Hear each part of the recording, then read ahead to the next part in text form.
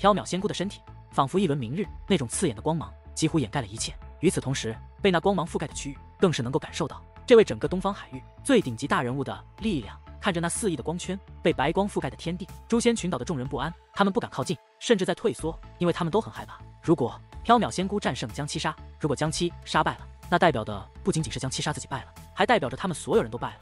然而就在这时，在那白色光芒的一侧，竟然浮现出了一点黑色，并且那黑色急速扩大，最终竟然能与那白芒分庭抗衡。将七杀，这一刻，诛仙群岛的人不由大喜，因为他们能够认出那黑色的物体乃是那黑洞所化。此刻黑洞的体积发生了质的变化。并且那其中所散发出的吸力简直恐怖到了极致，那吸力散发而出，远处的白云都无法抵挡，正在不断的被吸入，甚至连那白色的光芒都被吸收了进去。一时之间，缥缈仙姑身上的光芒便消失大半，除了自身还萦绕着一些光芒外，便唯有通过结界锁链所笼罩的楚风等人身上还有着那白色的光芒。那些白色光芒在保护着楚风等人，若是没有那白光，楚风等人早就被那恐怖的吸力所硬生生的扯碎。但是此时此刻，那白色的光芒却很是微弱，并且越来越弱，大有消逝之意。此刻，缥缈仙姑脸色很是难看。她如今可是在动用禁忌玄功燃烧生命，但是哪怕这样，似乎也无法与那将七杀抗衡。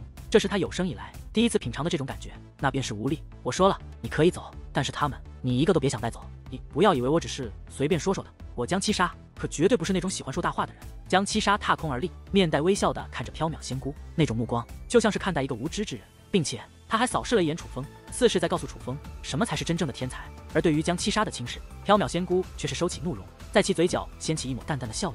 你说我一个人都带不走，那我倒是要让给你看看，我是如何将他们带走的。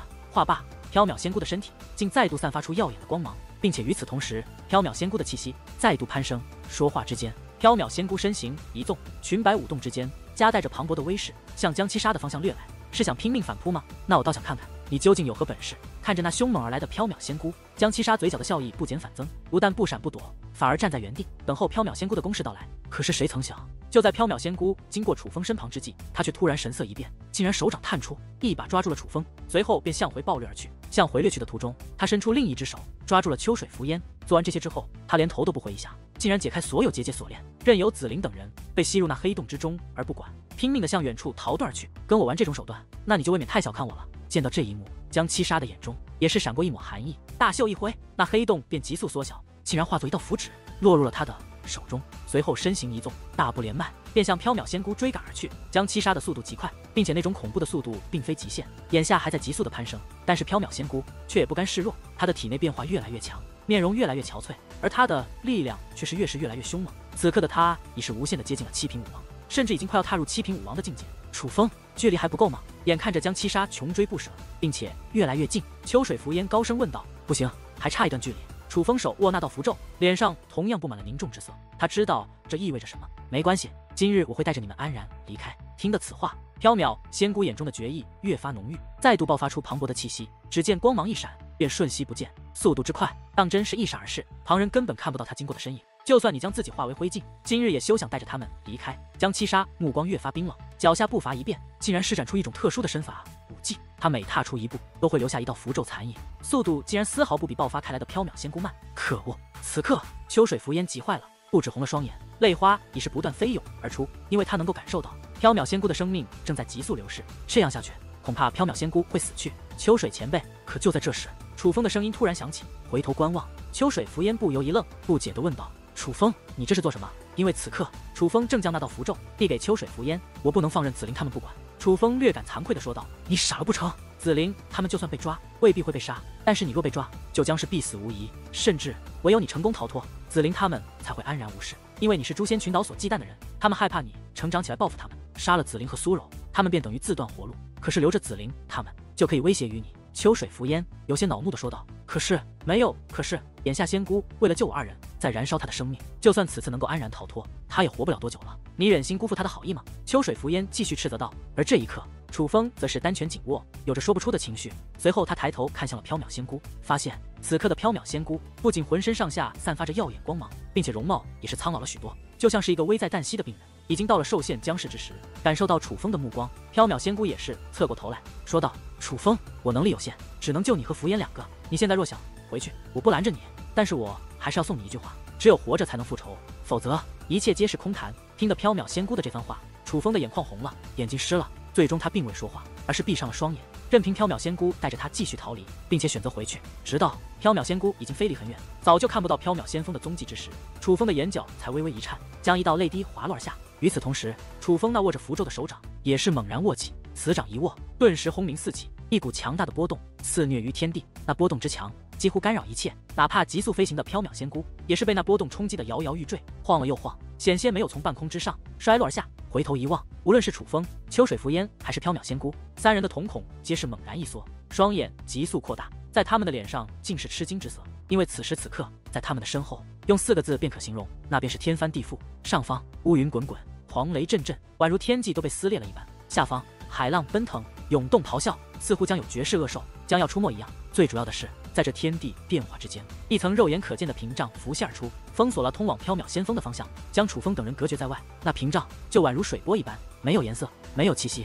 但若是仔细感应，便可发现此物不可撼动。成功了，楚风，你成功，我们成功了！见到这一幕，秋水浮烟狂喜无比，激动的都快跳了起来。他知道这就是神秘存在所说的东西，这是神秘存在的手段。有着这层屏障隔绝，任凭将七杀在逆天，肯定也无法追上他们。这是什么？就在这时。江七杀也是大步连迈，快速而来。第一次看见他时，还是远处的天际；当他迈动第二步之时，却已然出现在了近前。不过江七杀显然也早就注意到了这种变化，他并未靠近，而是站在了半空之上，以那凌厉的目光注视着此刻阻挡着他的屏障。楚风、秋水，我们走。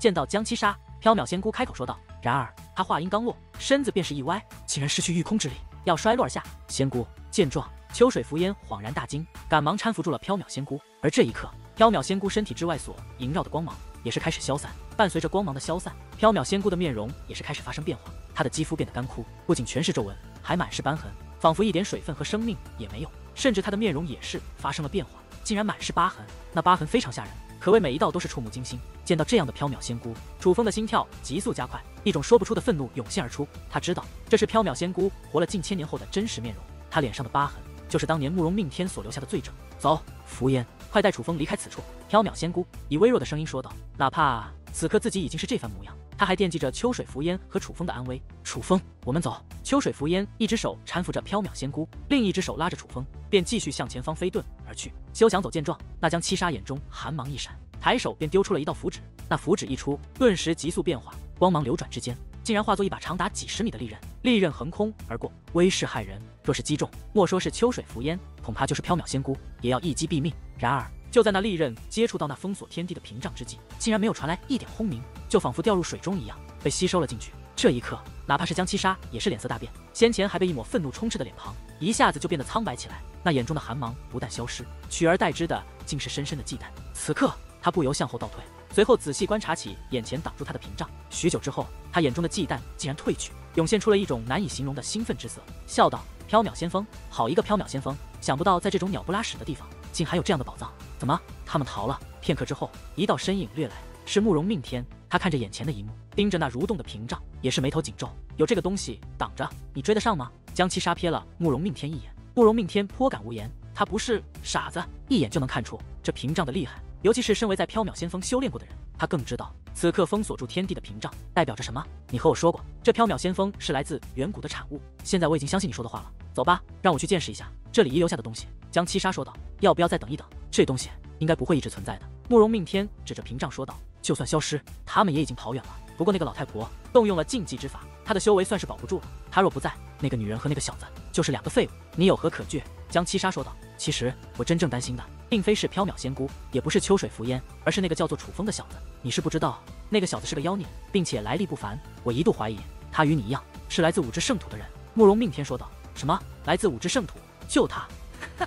听得此话，江七杀却是一阵大笑，并且笑得异常大声，笑得异常讽刺。直到许久之后，才说道：“就那楚风，他也配来自我五只圣土？你能够确定他不是来自五只圣土？五只圣土那么大，你就能够确保那楚风不是五只圣土之人？”慕容命天试探性的问道：“我还真就敢跟你保证，他绝对不是五只圣土的人。不过，你最好别问我为什么，因为我不想说的事情，你最好不要打探。”说到这里的时候，江七杀的眼中涌现出一抹寒意，他在警告慕容明天。好，我不问。不过这一次可真是多亏了你，我才能够重新夺回这缥缈仙锋。对于你的帮助，我会铭记在心。感觉不妙，慕容命天则是哈哈一笑，很是殷勤的转移话题。放心，这缥缈仙锋是你的，但是这里面的东西可不是你的。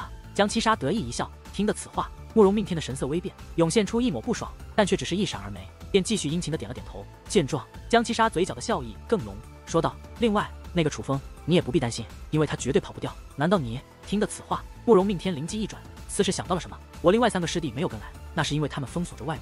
虽然他们实力不如我，但是既然那缥缈仙姑已然失去战力，只靠那个二品武王的女人，绝对不是我师弟的对手。随便一个都可以置他于死地。何况你诛仙群岛的那个叫做战九霄的老头，不是也被你派来守住了那个方向了吗？你应该早就算到，他们如果逃，便会向那个方向逃去吧。江七杀指着楚风等人逃离的方向说道。这一刻，慕容命天的脸色真的有些难看了，因为他留下的这个后手。可没对任何人说过，但却被江七杀得知了，这真是超乎了他的意料。不过对于江七杀的质问，他却不能不答，只能笑眯眯地解释道：“九霄本不在此次行动中，但他死活要跟来。考虑到他儿子被楚风所杀，我便带着他来了。但也正因为他儿子被楚风所杀，我怕他恨意太重，见到楚风后失控，直接对楚风出手。但是以他的修为，绝对不是缥缈仙姑的对手，擅自出手只会白白送命，我也未必救得了他。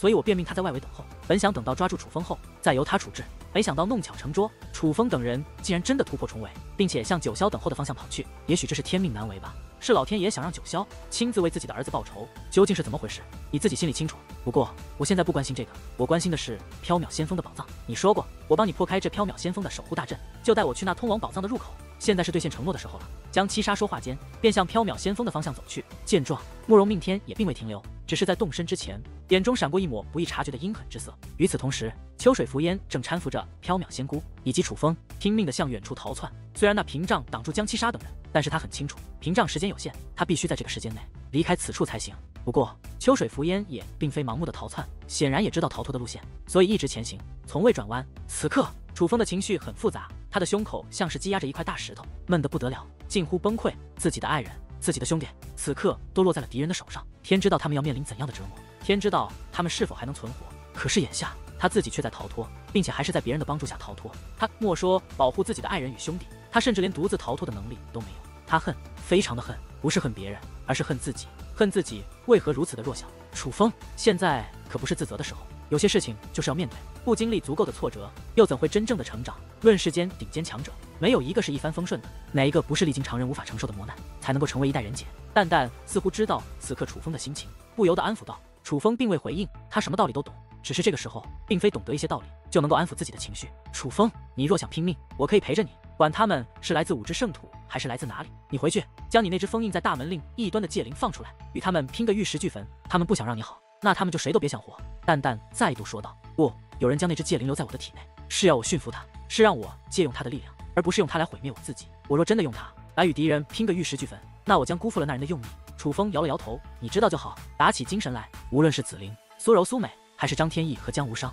他们都不想看到你现在这个样子。他们以你为荣，以你为傲，在等着你回去救他们。你不能垂头丧气，丧失斗志。”淡淡说道：“淡淡，谢谢你，你不用担心我。”我不会自暴自弃的。我之所以跟着仙姑他们逃脱，就是为了有朝一日我可以杀回去。楚风说道，这才像我认识的楚风。不论是哪个事件，凡想成大事者，就该不拘小节，不仅要对敌人，对自己也要狠。这其中就包括你的至亲之人。淡淡松了一口气，他是真的担心楚风，怕楚风因为紫菱等人被抓而迈不过这个坎，这会影响他日后的前程。而楚风自然能够感受到淡淡的好意，这个丫头是真的处处为自己着想。不得不说，淡淡的关切。使得楚风在四头万绪、万分憋闷之中，感受到了一丝暖意。不好！可是突然之间，楚风的瞳孔却是猛然一缩，赶忙传音于秋水浮烟道：“秋水前辈，快快掉头，前方有位三品武王挡住了去路。”什么？秋水浮烟颇感意外。为了避免出现不测，他也是将精神力扩展到了极致，以观察四方动静，但却并未发现异常。不过，哪怕如此，他也是听从了楚风的意见，赶忙调转身形，向另外一侧飞掠而去。然而，秋水浮烟刚刚调转动作，远处便爆发出一股磅礴的威势，一道三品武王的气息铺天盖地的压迫而来。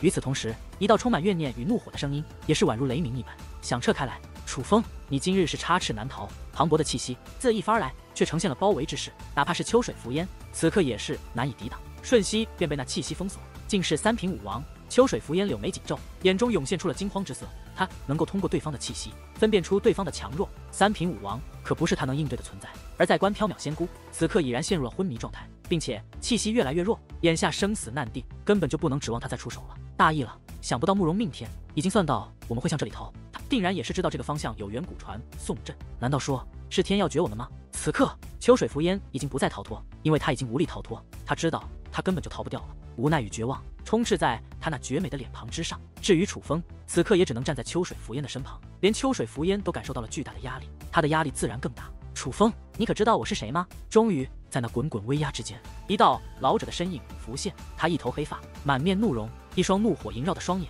正在恶狠狠地凝视着楚风。那种目光，恨不得要喝了楚风的血，吃掉楚风的肉。看清此人面容后，楚风则是眉头微皱，因为无论是对方的修为，还是对方的面容，都告知了楚风他的真实身份。所以楚风很是平静的道：“你是战风的父亲，诛仙群岛第二仙战九霄。既然知道我是谁，还不快快下跪！”战九霄怒声喝道：“下跪！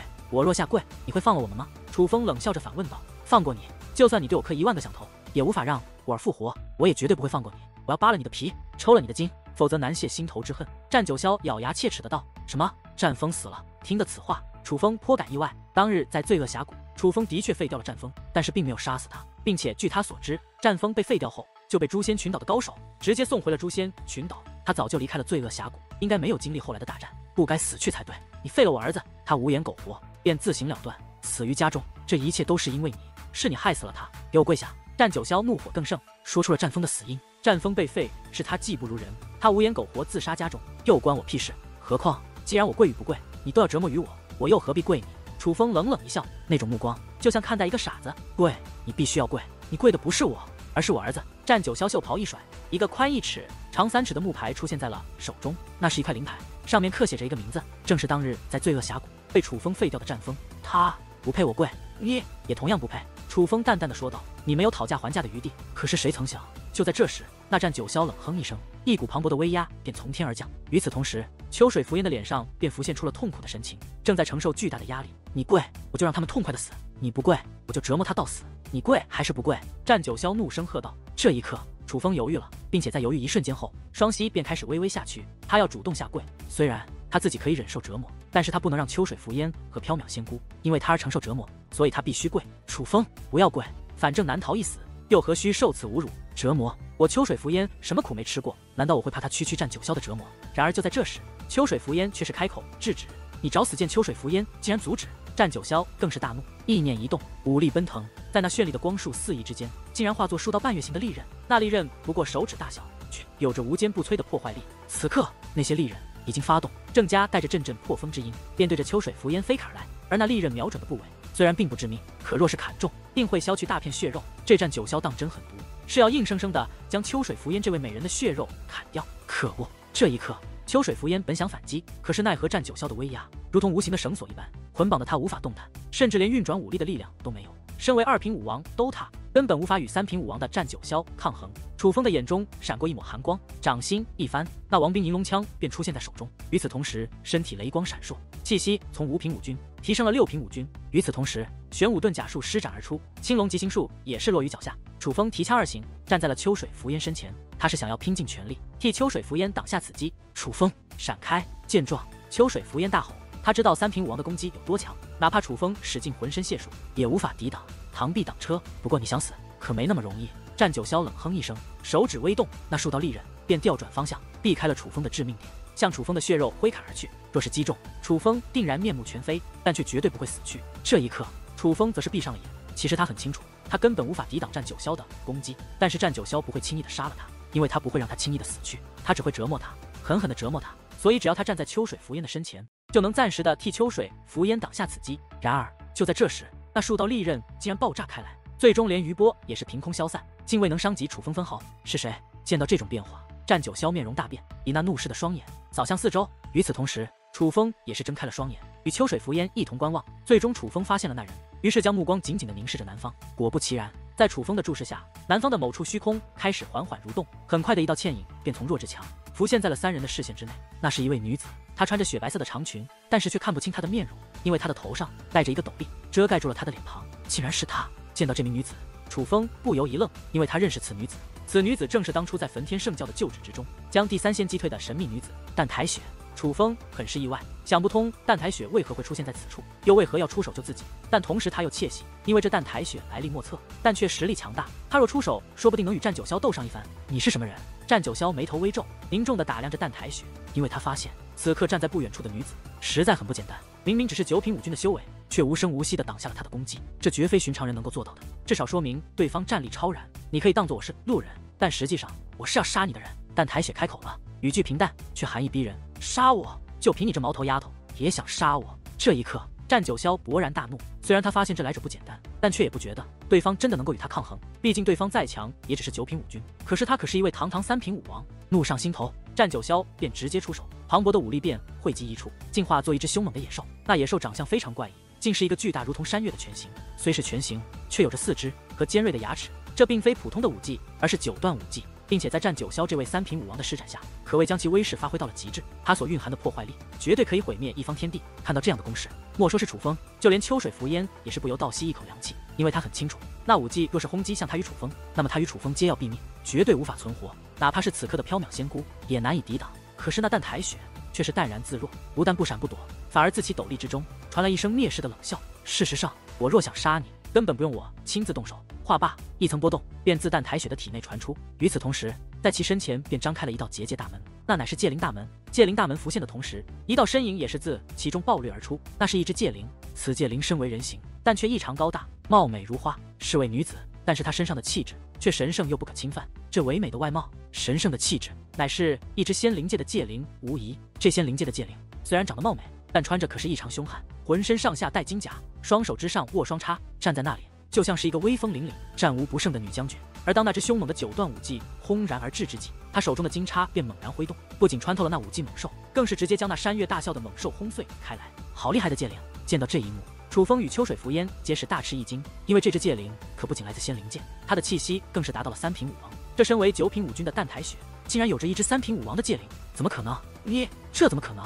见到那只界灵，战九霄也顿时面容大变。同为界灵师的他，当真是不敢相信，身为五军的淡苔雪会有一只三品武王的界灵。最主要的是，同为三品武王的他，竟在这只界灵的身上感受到了莫大的压力。那只界灵的实力竟然在他之上，敢对我主人不敬者，杀！那界灵杀眼冒寒光，杀气升腾，手持双叉，便直接向战九霄攻了过来。见状，战九霄不敢怠慢。手腕一转，便出现了一把长达三米的长刀。这把长刀为红色，并且刻满了如同火焰一般的符咒，乃是一把王兵。王兵握于手中，战九霄整个人的气势瞬息倍增。只见其将长刀猛然挥动，的一声，一片火海便在其面前浮现而出，向那界灵滚滚而去。可是那界灵实在太过凶猛，只见其双叉舞动之间，竟然将那滚滚烈焰斩切开来，并且在眨眼之间便来到了战九霄的近前。该死，眼见着连王兵的攻击对那界灵都是无效，战九霄再也无法淡定了，身形一转。他竟是想要逃窜，你哪里逃？给我拿命来！见状，飞掠而来的界灵不但不依不饶，反而脚步猛然一踏，周遭的虚空蠕动之间，他竟然瞬息消失不见。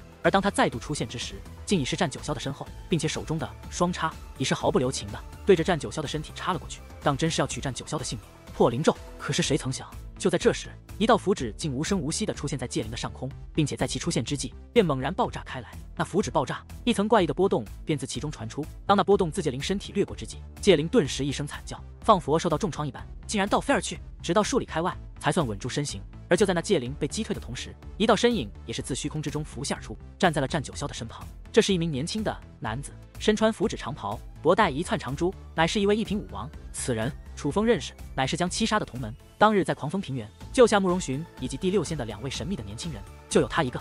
哈哈，本是听从师兄之令，守在外围收拾一下漏网之鱼，却想不到等来这样一个意外的收获，竟抓到了你。那将七杀的同门此刻很是兴奋，但却并没有看楚风与秋水浮烟一眼。而是双眼冒光的盯着淡苔雪，就如同发现了一件至宝一般。狂百年，你可真是好大的口气，抓到我？你何时抓到过我？但苔雪讽刺的一笑。从他二人的这番对话之中可以看出，他们应该早就相识，否则但苔雪不可能知道对方的名字。妖女，少废话，速速将东西交还于我，我便留你一具全尸，让你死个痛快。听得此话，黄百年眼中寒芒闪过，指着但苔雪怒斥起来：“我若是不交呢？”但苔雪淡淡的回道，话语中充满着轻视：“你若不交，我就让你知道什么叫做生不如死。”那狂百年突然面容转冷，说话之间，掌心一翻，数百道符纸便脱手而出。那符纸射出之后，上面的符咒便开始蠕动变化，最终整个符纸都是光芒闪烁，进化作数百道骷髅怪物。这骷髅怪物手持双刀，头贴纸符，每一个散发出的气息，竟都比狂百年自身的气息还要强大。那竟是数百道二品武王级别的骷髅怪物。见到这一幕，战九霄忍不住倒吸一口凉气。那狂百年不过是一品武王的修为，竟然随手之间召唤出这么多二品武王级别的怪物。不得不说，这种手段让人惊叹。果然，他们的战力超然，几乎皆不弱于我，并且掌握的手段是东方海域之人所不具备的。看来当日幽冥灯没有与他们纠缠是正确的。这一刻，楚风不由想起了当日在狂风平原的一幕：幽冥灯堂堂残夜魔宗的护法，一位四品武王的修武高手，却被咒土门的一位一品武王和二品武王吓退。对于那一幕，幽童寒等人很是不解。但是现在来看，幽冥灯当日也定然是察觉到了不妥，所以才未交战。今日再看，幽冥灯的决定的确是正确的，因为这来自五只圣土。所谓咒土门的几人，别看很是年轻，但是他们的掌握的手段可真是强悍到了让人难以接受的地步。随便一个都让东方海域最顶尖的强者为之汗颜。五只圣土那里果然不同凡响，你要如何应对呢？但是惊叹之余，楚风却也将目光投向了波澜不惊的淡台雪。淡台雪的修为比这狂百年还要弱上很多，毕竟那狂百年再弱也是一位一品武王，可淡台雪还只是五军境。但是楚风却见识过这丫头的强大，知道她定掌握着不为人知的手段，甚至楚风怀疑过她可能是来自五只圣土。而经过二人的谈话后，楚风更是确定这神秘而强大的女子绝对不会是东方海域之人，定然是来自五只圣土的存在。所以。楚风很清楚，这并非是简单的两位天才交手，而是两位来自五只圣土的妖孽对决。就在这时，黄百年所凝聚的数百只骷髅怪物突然发出一阵刺耳而恐怖的咆哮，紧随其后，数百道身影猛然纵身，如倒射的流星一般，舞动着手中的双刃，夹带着恐怖的气息，向淡台雪飞掠而去。谁敢动我家主人？然而，就在这时，那只三品武王的戒灵再度暴掠而来，他如光一般。掠入了那骷髅怪物的大军之中，手中的双叉就如同无坚不摧的利刃，而他更是如同一个英姿飒爽、战无不胜的女将军。只见双叉横扫之间，所过之处，骷髅怪物便化成粉碎。这只三品武王的戒灵，凭借一己之力，只在一瞬间，便将狂百年所凝聚的骷髅怪物轰成了粉碎。破灵符眼见着自己的手段被破，狂百年眉头微皱，手臂轻扬，又是一道符纸爆射而出。那符纸很是诡异，速度极快，但是在飞掠之际。却又突然消失不见。见状，那只戒灵目光一闪，赶忙向旁躲去。果不其然，就在他刚刚躲开之际，那道消失的符纸便出现在其先前站立的虚空之上，并且瞬息爆炸开来。符纸爆炸，再度传来一种诡异的波动，那是一种奇特的波动，似乎对正常人造成不了任何威胁，可是对戒灵却有着出其不意的伤害。只不过可惜，这一次那波动却被那只戒灵提前躲避，并未再度受伤。邪门歪道的手段，看我如何惩治于你！先前因此吃亏，那戒灵已是怀恨在心，想不到狂百年还敢再用，这使得戒灵更为恼怒，甩动双叉便向狂百年攻杀了过去，倒是有些手段。不过我也算看出来了，你之所以敢如此嚣张，不过是因为有这么一只戒灵罢了，一只仙灵界的三品武王而已，真以为能与我抗衡吗？眼见着戒灵来袭，狂百年竟然哈哈大笑，随后他意念一动，在其前方便张开了十道结界大门。那十道结界大门浮现之后，十道身影便从中踏出，这是十只妖灵界的界灵，并且全部都有着三品武王的气息。只不过界灵也有强弱之分，妖灵界界灵虽强，但是显然不如仙灵界的界灵凶猛。所以，哪怕对方有十只三品武王的界灵，但是那种气势比之那仙灵界的界灵却也弱了一重。不过对于这种情况，黄百年似是早有预料。他掌心一翻，又有十道符纸浮现出，竟纷纷丢入了那十只界灵的身上。那符纸贴到身上之后，便光芒四射，一股怪异的力量融入其中。这一刻，那本是相对弱上许多的十只戒灵，周身萦绕气诡异的光芒，气息也是在此刻大涨。竟然每一只的气息都不弱于那仙灵界的戒灵。此刻，那十只戒灵已然信心大涨，一声咆哮之后，便与仙灵界的戒灵站在了一处，并且他们配合紧密，攻防有致。在交手的之际，便占据了主动权，将那仙灵界的戒灵压制了下去。与我比戒灵之术，你简直是自寻死路。这一刻，那狂百年先是冷哼一声，紧随其后便疯狂的大笑起来，并且他笑得极为响亮，极其嚣张，厉害，实在是太厉害了。狂百年小友，你可真是让老夫大开眼界了。见到这一幕。战九霄也是忍不住夸赞起来，他真的是发自肺腑的佩服黄百年的手段。虽说黄百年只是一品武王，正常来说他完全不放在眼里，但是黄百年此刻所召唤的十只戒灵，每一只都可以轻易的将他抹杀，这让他认识到了黄百年的强大。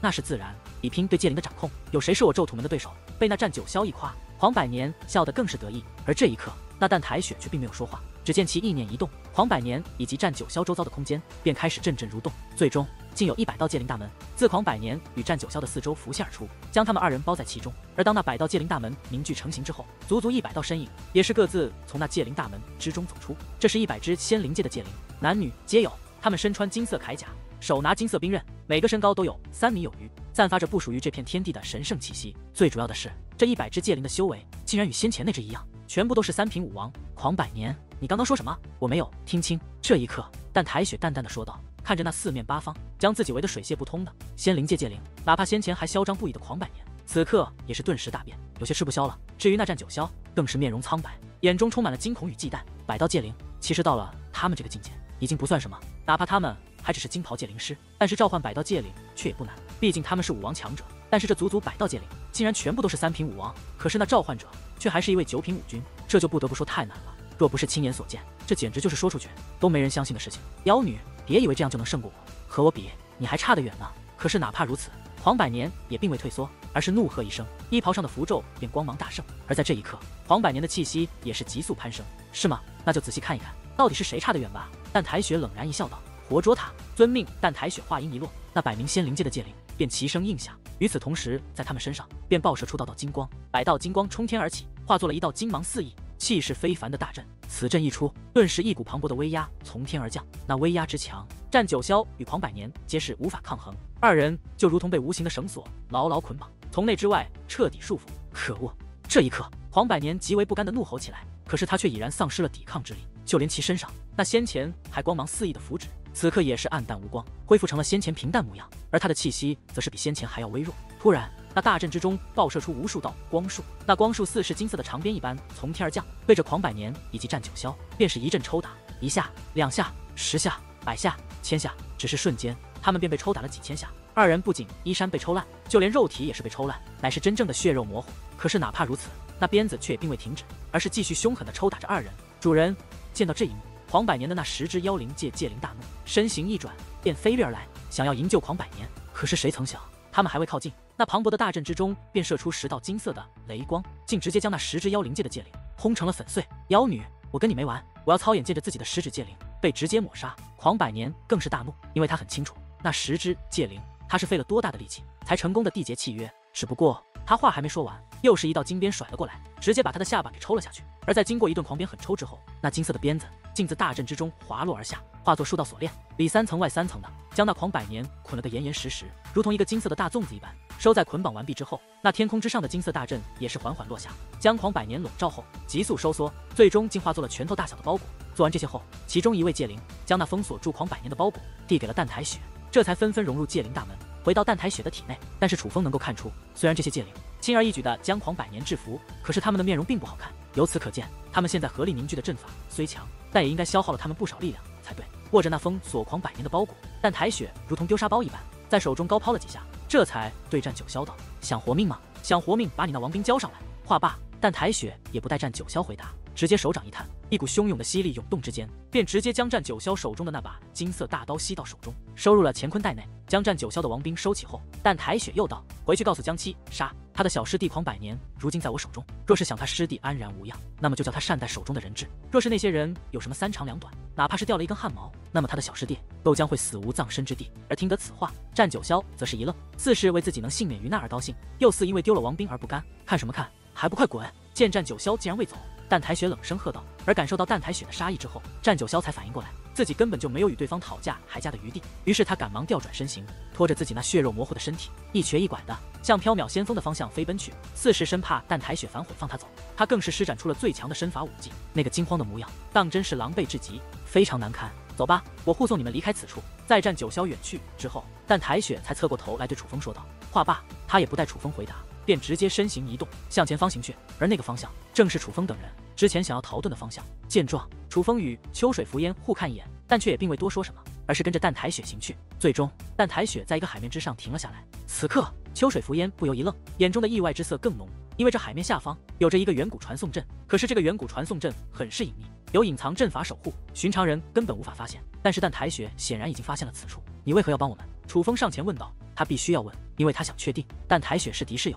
我不是帮你们，而是那江七杀等人，本就是因为我才来到此处。若不是我的话，他们也不可能出现在这里，也不会联合那诛仙群岛对付你们。可以说是我不小心将一场祸端带给了你们。但不管是有心还是无意，总归是与我有关。我会帮助你对付他们。但台雪的语气很是平淡，甚至冷若冰霜。拒人于千里之外。尽管他是说要帮助楚风，可是却给人一种遥远的距离感。你要一个人对付他们？楚风吃了一惊。虽然这淡台雪很强，强到可以轻而易举地制服了狂百年。赶走战九霄，可是那将七杀绝对不像狂百年这么好对付。毕竟他们二人相差了三品境界，何况单从处事风格来看，无论是手段还是心机，那将七杀都要远远胜过狂百年，是一个极为难缠的角色。现在的话，我的确无法与江七杀抗衡，不过再过些时日，那可就未必了。淡台雪很是自信的道。听得此话，楚风心中一动。虽然淡台雪的实力与江七杀的确有些大，但是他能够从淡台雪的语气之中听出，他并非是在开玩笑，而是有着至少五成的把握才对。这个女子太强了。强到深不可测，难以捉摸。你放心，你的那些朋友不会有事。这次来到东方海域的人，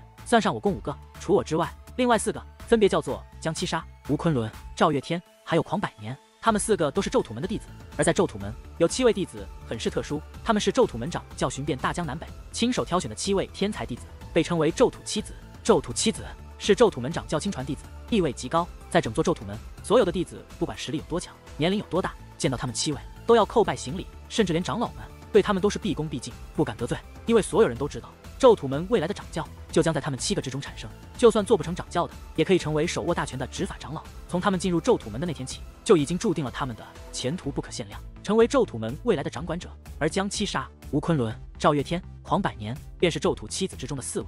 所以你应该知道，对于咒土门来说，黄百年的性命有多重要了吧？但台雪笑问道。这一刻，楚风略感吃惊。他知道江七杀他们来自咒土门，却没有想到在咒土门之中地位如此之高。这也就难怪他们高傲无比，目中无人，并且又战力超群了。因为他们本来就是精英中的精英，天才中的天才，真正的人中之龙。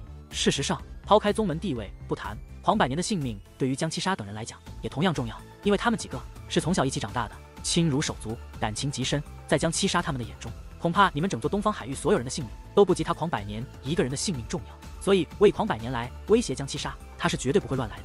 至于那诛仙群岛的人，有江七杀在，他们也绝对不敢拿你的朋友怎么样。至少狂百年在我手中一天，他们就会安然一天。但台雪再度开口，他似乎也看出楚风很担心紫菱等人。多谢楚风对着淡台雪深深的抱拳施礼，因为眼下他心中最大心结、最为担心的事情，的确就是紫菱等人的安危。不过听过淡台雪的这番话后，他的担心也的确减轻了不少，因为他觉得淡台雪不会骗他，并且他也能够看得出来，江七杀根本就是在利用慕容命天等人。所以未必会因为诛仙群岛与自己的恩怨，便对付紫菱等人。尤其是在自己的师弟被挟持之后，江七杀就更不会伤害紫菱他们了。就如淡台雪所说，紫菱他们至少暂时是安全的。不过道谢之后，楚风又问道：“请问咒土门在五之圣土算是怎样的势力？”楚风觉得他与咒土门注定要结怨，不因别的，只因为江七杀等人来自咒土门，这就注定他与咒土门要势不两立。所以他需要熟悉一下咒土门的实力，有五帝强者镇守的宗门。你说是怎样的势力？淡台雪淡笑着反问道：“什么五帝？”听的这两个字，楚风的神经顿时紧绷起来，而秋水浮烟更是忍不住倒吸一口凉气，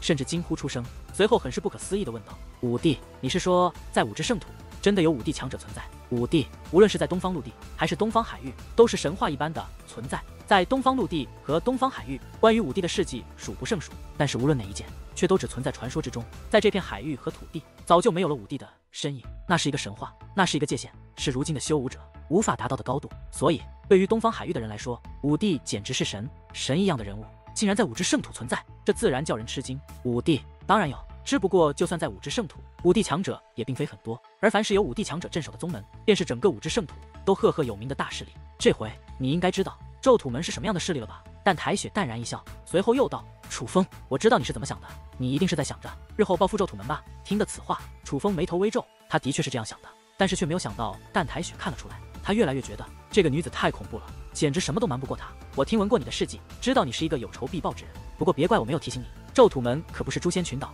五之圣土也不是东方海域。你可以在东方海域胡作非为，但是若想在五之圣土惹是生非的话，你可就要掂量一下你自己的本事有几斤几两了。也许在东方海域你是最耀眼的一颗星星，但是在五之圣土，如同你这样的家伙可是数不胜数。不过凡是敢仗着自己有几分天赋和几分胆识，便敢嚣张跋扈、任意妄为者，大多数可都没有什么好下场。但台雪冷笑着说道，话语之中颇具几分讽刺意味。谢谢你的好意，我心中自有斟酌。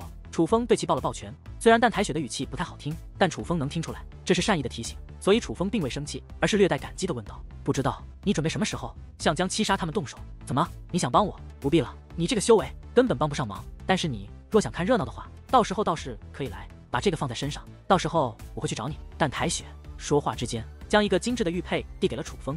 楚风知道。这个玉佩是一个定身符，这上面应该留有淡台雪的印记。楚风将它随身携带，淡台雪便会找到自己。那我就静候你的消息了。收起玉佩后，楚风对淡台雪道：“其实他还有很多问题想要问淡台雪，可是，一是他与淡台雪不熟，二是眼下情况危急，此处也并非闲谈之地。看样子淡台雪又不打算与他们同行，所以楚风便忍住好奇，不再多问，选择尽快离开。淡台姑娘，大恩不言谢，今日出手相救之恩，日后秋水浮烟定会报答。与此同时。”秋水浮烟也是对淡台雪施以一礼，施礼道谢之后，秋水浮烟这才带着楚风转过身去，准备遁入海底，通过那远古传送阵离开这个是非之地。等等，可是就在二人将要离开之时，淡台雪却是突然开口制止，看着楚风道：“楚风，我有个问题想要问你，希望你能如实回答。”淡台姑娘，请问。楚风客气地说道：“当日在冰雪平原，有人激起了天地异象，那一幕惊天动地，几乎冰雪平原的所有人都见识到了。”而刚巧当时你也在冰雪平原，我若没有猜错，那激起天地异象之人就是你吧？但台雪问道。不瞒淡台姑娘，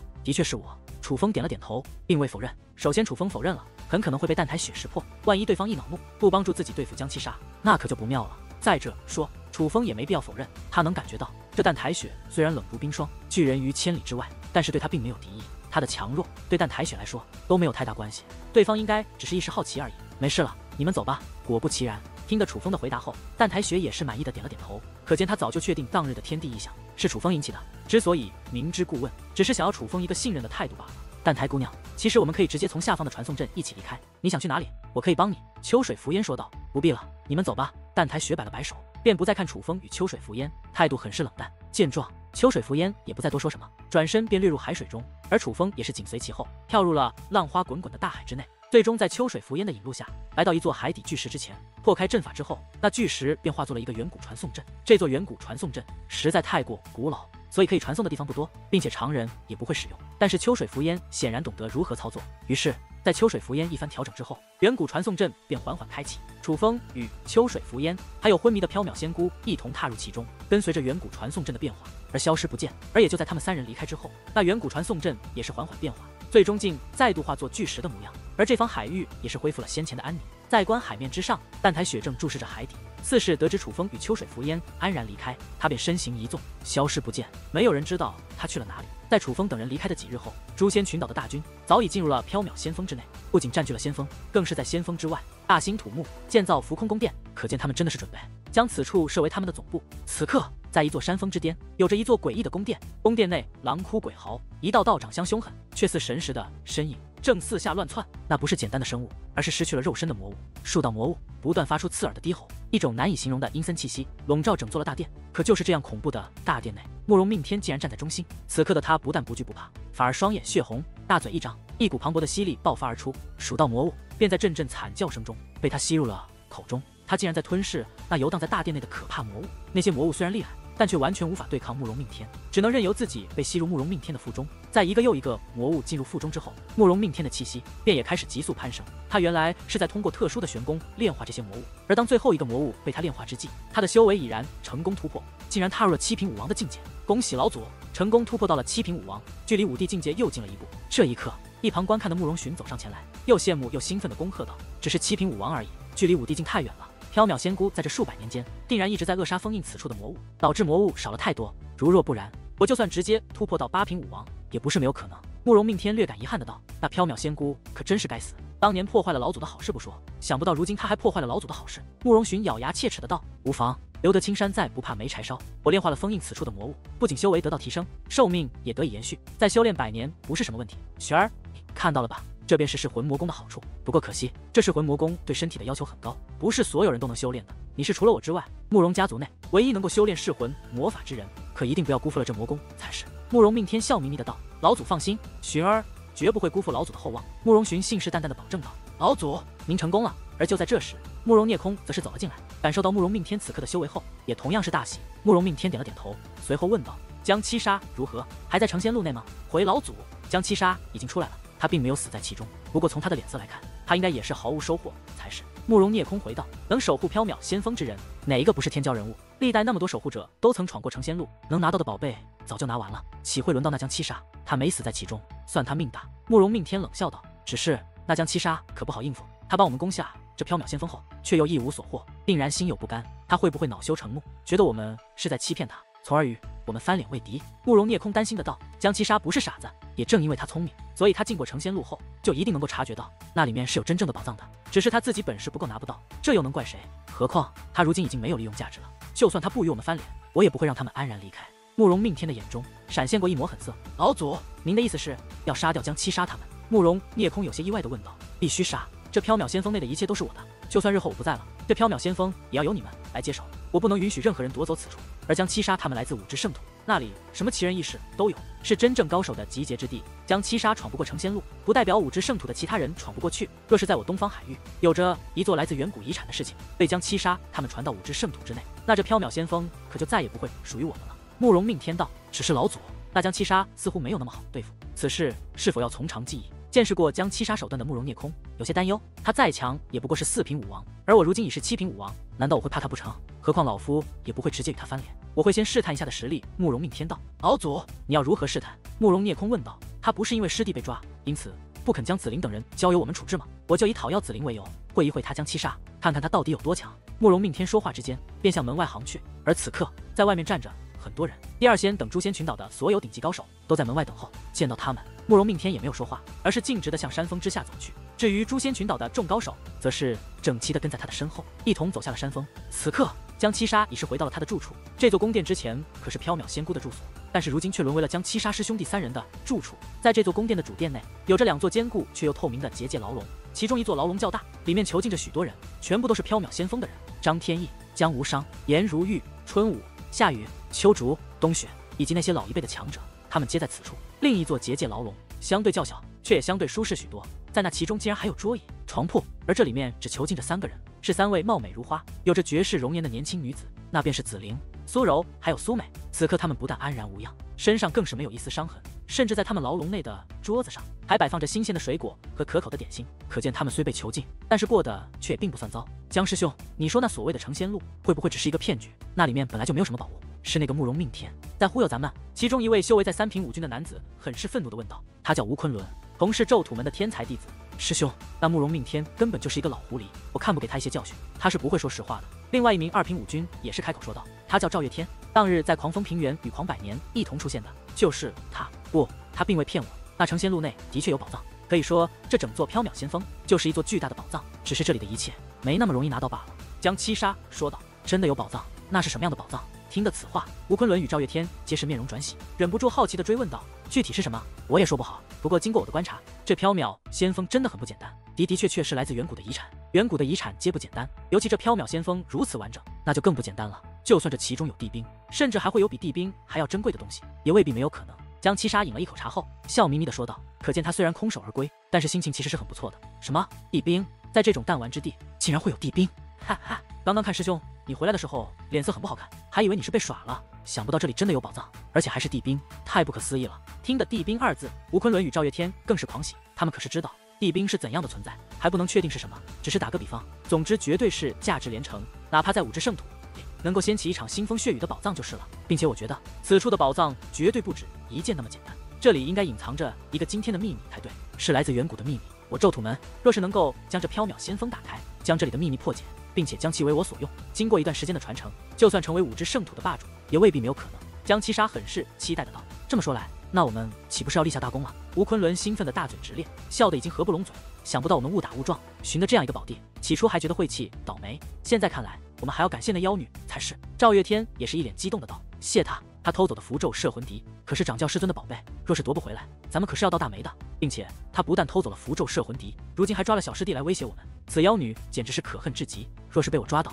我非要将她先奸后打，最后活活的剐死她不可。”吴昆仑咬牙切齿的道：“是啊，江师兄，如今小师弟还在那妖女手中，那妖女又如此心狠手辣，她会不会对小师弟不利？”赵月天也是有些担心的，对江七杀问道：“不会，那妖女若真想对付小师弟，早就动手了，根本无需用小师弟来威胁我们，并且她知道我们为追她而来，躲着我们还来不及，又怎么会主动来寻我们的麻烦？虽然不知具体是因为什么，但是可以看出，那妖女是准备帮助那个叫楚风的小子。不过这也刚好成全了我们，也许我们能够利用这些人抓住那个妖女。”江七杀说阴险的笑道：“对，只要抓住那个妖女。”我们就可以回去复命了。虽然我们弄丢了掌教师尊的符咒摄魂笛，但是只要我们将抓住妖女，并且将符咒摄魂笛完整的带回去，掌教师尊一定不会责罚我们。再加上我们在这东方海域发现了这来自远古的宝藏，就绝对是大功一件。掌教师尊不但不会责罚我们，反而还会奖赏我们。赵月天一脸的兴奋。